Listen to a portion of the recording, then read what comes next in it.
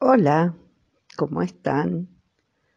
Aquí les sigo acercando una voz amiga y bien amiga, la voz de Javier Villafañez.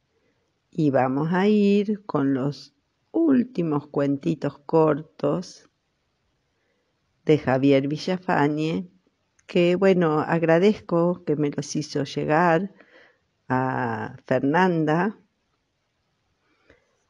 mi profesora de narración oral, del taller de narración oral que estoy haciendo. Eh, y el próximo cuento se llama El anciano ateo. Como verán, son todos cuentos de ancianos, ¿no? Eh, y sobre el amor y los ancianos, tan este, que a veces pensamos que, que, bueno, que no puede ser, pero bueno, como el anciano eh, con sus recuerdos y eh, su es capaz de amar igual que si tuviera muchísima menos edad. Este cuento se llama El anciano ateo. No creo en Dios ni en el diablo, solía decir un anciano. Soy ateo desde el vientre de mi madre. Un día el anciano murió de viejo. Alguien le tomó la mano. ¿Usted quién es? preguntó. El diablo.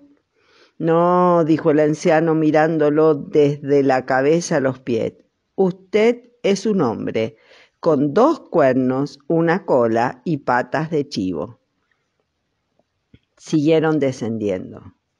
¿Y esto qué es? preguntó el diablo. ¿No es el infierno? No, señor. Es un sótano que se está incendiando. Muy buena. Qué un humor muy sutil, ¿no? El anciano creyente es otro cuentito. Durante medio siglo venía repitiendo, no soy un loco, tenía que encontrarme con él, con Dios, y llegó tarde. ¿Por qué me encerraron en este manicomio?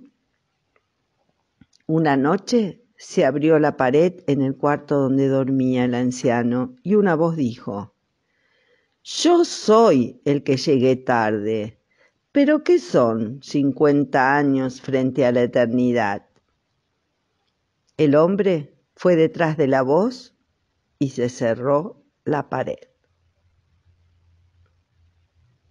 Y ahí terminó. El próximo se llama El fantasma. Despertó con un fuerte dolor en la nuca. Abrió la puerta y el perro ladró como si viera un desconocido. Fue al embarcadero y subió a la canoa. Remó y en el primer remolino la canoa se dio vuelta. Después unos policías rastreaban el río en busca del hogado. No lo busquen en el río, dijo un vecino. El hombre está muerto en su rancho. Esta mañana oí ladrar a su perro. Salí y vi cómo la canoa se iba sola río abajo. Fue el fantasma del hombre lo que vio su perro.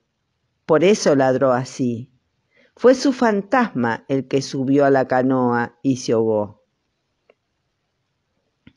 Cuando los policías entraron en el rancho, el hombre estaba tendido en el catre, muerto, con las manos sobre la nuca. Bueno, y aquí terminamos con esta serie de cuentos de Javier Villafañez. Ya voy a buscar otros textos de Javier Villafañez, ya sea para niños o para las voces. Pero qué lindo, ¿no? Acercar la voz amiga de Javier Villafañez. Un beso grande.